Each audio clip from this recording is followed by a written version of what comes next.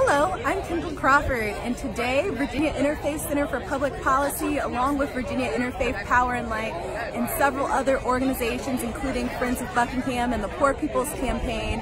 are here in Richmond to end environmental racism. We are marching over the Lee Bridge to the Oregon Hill Outlook today to demand environmental justice for all people, especially for uh, the neighborhood of Union Hill and Buckingham County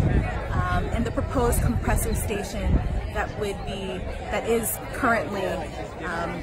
proposed for their community. Uh, we believe that everyone deserves clean air, clean water, and clean land, and that's what we're here today to stand for.